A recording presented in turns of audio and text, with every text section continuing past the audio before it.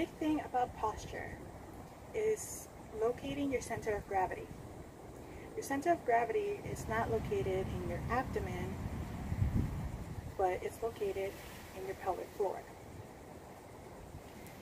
To engage your pelvic floor, you're going to bring in right here in between your hip bones and your back, and you're going to squeeze together. You sh it shouldn't move your pelvis when you do this. Just a gentle squeeze. Try doing this laying down on the floor. Along with that squeeze, you're also going to squeeze between this way and this way together.